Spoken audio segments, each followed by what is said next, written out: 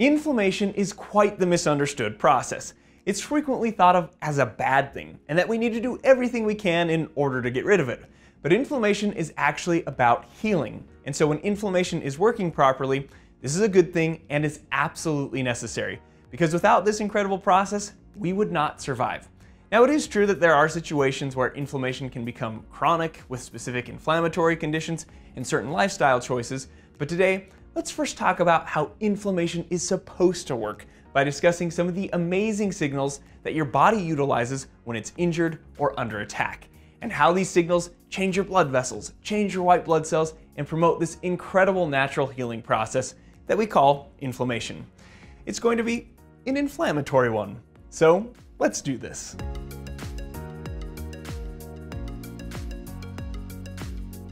Now, all of us have experienced inflammation in some form. Maybe it was from an injury like an ankle sprain, a splinter in your finger, or some sort of pathogen like bacteria that's trying to invade you. But regardless of the cause, there are some common signs of inflammation, which include redness, swelling, heat, pain, and sometimes loss of function. Like with an ankle sprain, you've likely experienced all of those signs, including the temporary loss of function with that joint. Or maybe you've had a pathogen infect your tonsils, and they got red, hot, swollen, and painful. And what we're going to find is that all of these signs of inflammation have a purpose, or in other words, can be explained by the steps of inflammation that we're going to cover now. So let's use this picture to help us with this. So, as you can see, we have a tiny little blood vessel here called a capillary. And inside the capillary, you have this cell representing a white blood cell called a neutrophil, which is doing this really cool roly-poly process that we'll get into during the next step, and we'll find that it's not really called the roly-poly process. But outside the capillary, we have some tissue cells that I've taken the liberty of drawing in myself, and as you can see, they are sad and injured. Now, as I mentioned earlier, this all starts with some sort of tissue and cellular injury. And this injury could come from trauma, where connective tissues and cells are damaged and torn apart, or from a pathogen like bacteria that could release harmful toxins. And we are representing these scenarios here with this star looking inflammatory explosion. But this injured tissue will release multiple substances.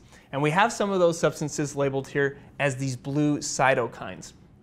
And these cytokines will initiate the inflammatory response by signaling to nearby troops as well as distant troops that it's time to go to war.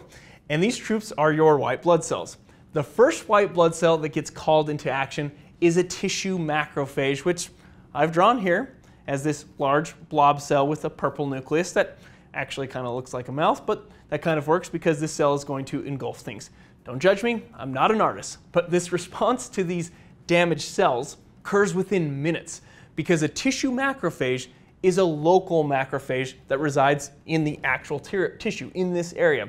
And this is really cool because essentially you can think of it as your body stationing troops, these tissue macrophages, in the tissues throughout the body, just in case something like this happens so that you can have an immediate response, again, within minutes. And these tissue macrophages participate in a process called phagocytosis, which translates to cellular eating. They can engulf dead tissue, cellular particles, as well as pathogens such as bacteria. And this step takes place during about the first hour of inflammation. Now, this first step with these tissue macrophages is very important and even life-saving but the number of these tissue macrophages is not very high. And so there isn't enough of these troops, especially in more moderate to severe injuries and infections. But luckily, those chemicals or those cytokines that were released at the start of inflammation also signaled to more distant troops for additional backup. And after about the first hour of inflammation, large number of neutrophils, another type of phagocytic white blood cell, will start to infiltrate the inflamed area from the blood. This infiltration was caused by those inflammatory cytokines. And for you physiology nerds out there, maybe you've heard of some of these cytokines like tumor necrosis factor and interleukin 1, but these names are not necessary to have an understanding of this process. But these cytokines and other biochemical products produced by the inflamed tissues initiate some really cool processes that allow for this infiltration of the neutrophils to occur. First, as I've already hinted to, the cytokines attract the neutrophils to this actual site of injury, kind of like putting up the bat signal or radioing for backup. And using these chemicals to attract the white blood cells to this site of injury is referred to as chemotaxis. Second, these cytokines also cause increased expression of adhesion molecules on the surface of the endothelial cells that are near the site of inflammation. Now, endothelial cells are just the cells that line the capillary. But if you look at this picture, we can see that these adhesion molecules on the endothelial cells, one of which is called selectin, and the selectin will interact with the integrin molecules on the surface of the neutrophil. And this essentially will cause the neutrophil to get stuck or adhere to the capillary wall so that it doesn't get pushed past the site of inflammation with the blood flow. What is also happening at the same time is that the cytokines and other inflammatory signaling molecules cause the capillary to vasodilate, which is to increase the diameter. And this brings more blood and therefore more neutrophils to the site, as well as causes the intracellular attachments between the endothelial cells of the capillary to loosen, creating larger gaps between the cells. And this increases the permeability of the capillary, which will cause more fluid to leak out of the capillary and into the site of inflammation but it also allows our roly-poly process to occur where these little, this neutrophil army can kind of army crawl across the capillary wall and then squeeze through the cracks between the endothelial cells and now poof, these neutrophils are now at the damaged tissue site where they can help those tissue macrophages defend and clean up the area through phagocytosis. Now again, it isn't technically called the roly-poly process, and the names are, again, not really as important as the concepts. But for those of you that love names, when the neutrophil adheres to the endothelial cells, this is called margination because it attaches to the margin of the capillary. And when the neutrophil squeezes through the cracks between the endothelial cells, it's called diapedesis. Dia means through, pedesis refers to leaping or jumping. It's more like squeezing than jumping, but we don't need to get lost in all that. And with all this talk about inflammation, let's talk about something that can help to reduce the inflammation of our skin, and that is the Illumina LED face mask from the sponsor of today's video, iRestore. This is one of the most powerful LED masks on the market with clinically proven technology. And with more LEDs and face coverage than leading competitors, this mask is perfectly engineered for both efficacy and comfort. The Illumina has 360 medical grade LEDs and is the only device that delivers red, infrared, and blue light therapy at the same time. And this is important because different wavelengths of light penetrate the skin at different depths, which means it can help with more superficial conditions that affect the epidermis, such as acne and sun damage, while also getting deeper into the dermis to help support better blood flow and collagen production, all leading to clearer, calmer, and more youthful looking skin. And thanks to enhanced eye protection and a portable battery pack, it's clearly designed for multitasking while working, relaxing, and of course filming YouTube videos. And all it takes is 10 minutes, three to five days a week. This device is loved by women 25 and older who are looking to prevent aging and have more radiant skin. But guys, if you want to use it too, there's no shame in that. So buy one for yourself or for that special someone who is just going to steal it from you anyway. So if you're looking to up your skincare routine, try the Illumina LED face mask by clicking the link in the description. And now, let's get back to inflammation. Now let's have a little bit of a checkpoint here. One, if you had to pinpoint one of the most important take-home messages about inflammation, it is this process that we just saw, getting these white blood cells to this site of injury or infection so that they can clean house and initiate the healing process. And we are also starting to see why we experience some of the symptoms of inflammation, such as red, warm, and swollen. Remember I said that the capillaries vasodilate, and the spaces or the cracks between those endothelial cells get wider, and this led to not only the neutrophils getting out of the bloodstream to the site of injury or infection, but also allowed for fluid, some of the plasma from the blood, to leak out of the capillary and into those tissues. And this is what accounts for the swelling and the increased warmth and redness. The swelling can also lead to some pain and discomfort as the tissues and nerve endings start to get compressed and stimulated. There's also an interesting distinction between inflammation caused by trauma or injury versus inflammation caused by some sort of pathogen, such as bacteria or viruses. With both scenarios, you get the process that we've described so far. But with an injury, say like an ankle sprain, you also add some additional damage. And what I mean by that is with something like an ankle sprain, you are literally tearing through tissues such as ligaments. And the severity of this tearing can obviously vary based on the severity of the sprain. But you will also potentially tear through capillaries that supply that tissue where whole blood literally spills out of those torn capillaries and this will typically contribute to even more swelling as well as the addition of bruising because now you have red blood cells and other components of the blood spilling out of the torn capillaries that don't typically spill out of the intact vasodilated capillaries that you would see with, say, something just caused by pathogen, or I should say, inflammation just caused by a pathogen. And obviously, tearing through soft tissues with injuries is also going to come with some additional pain. But again, in either scenario, bringing the white blood cells to the site of injury or infection is one of the most important parts of this story. So much so that we actually even have a second wave of white blood cell troops sent to the tissue. Within a few days of inflammation starting, a white blood cell known as a monocyte will come from the blood and enter into the inflamed tissue. Now, you might be thinking this monocyte is a completely new cell, but you have met this cell before, but in a different form. You see, a monocyte is kind of like your Bruce Banner to the Incredible Hulk, because once the monocyte squeezes through the capillary and enters the inflamed tissue, it says to the inflamed area, You won't like me when I'm angry. Because I totally imitated that voice correctly. And it starts to get bigger and bigger and angrier and angrier. And it becomes a larger, incredible Hulk macrophage, smashing and engulfing every bacteria, virus, necrotic tissue, or other foreign particles in the tissue.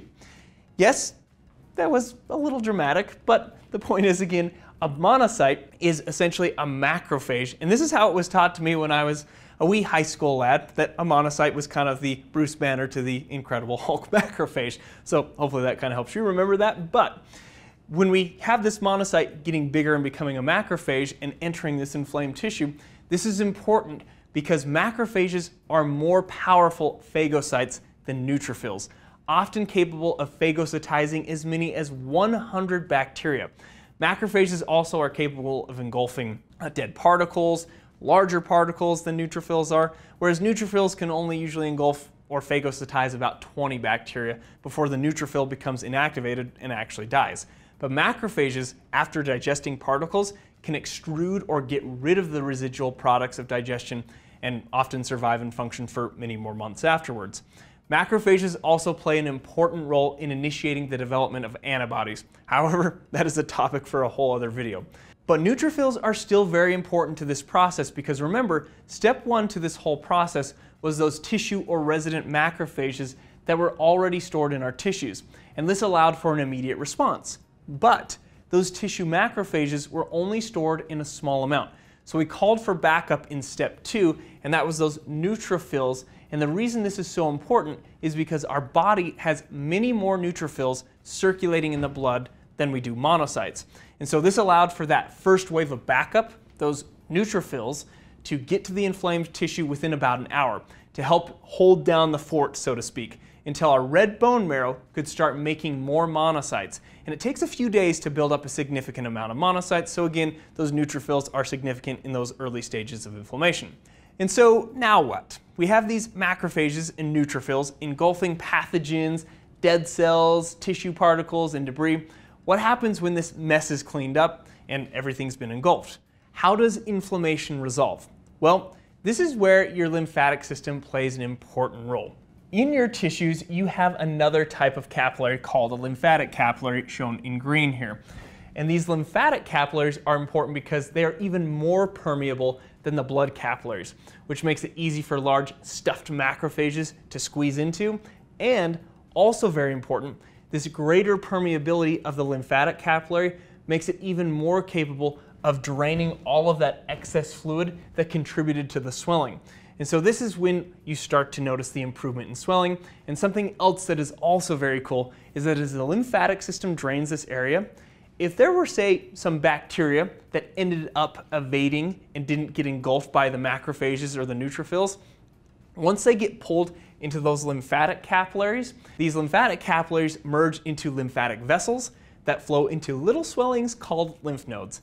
And guess what's in there? Even more white blood cells to do any extra killing or filtration that didn't get fully taken care of at the initial site of inflammation. And we actually recently released a video on the lymphatic system that goes into even more detail that I'll link at the end of this video. But one of the last things I want to mention here is that you have likely heard, at least in the case of inflammation due to an injury, that you can help speed up this process with things like rest, ice, compression, and elevation, often referred to as the RICE protocol. Now, icing immediately after an injury can be a little controversial, those that are against it will say we don't want to vasoconstrict those capillaries with the ice because that could possibly blunt the early stages of inflammation of getting those white blood cells to the area. And there may be some truth to that, but ice can help with pain a little bit. However, you certainly do want to rest the affected area for a few days depending on the severity.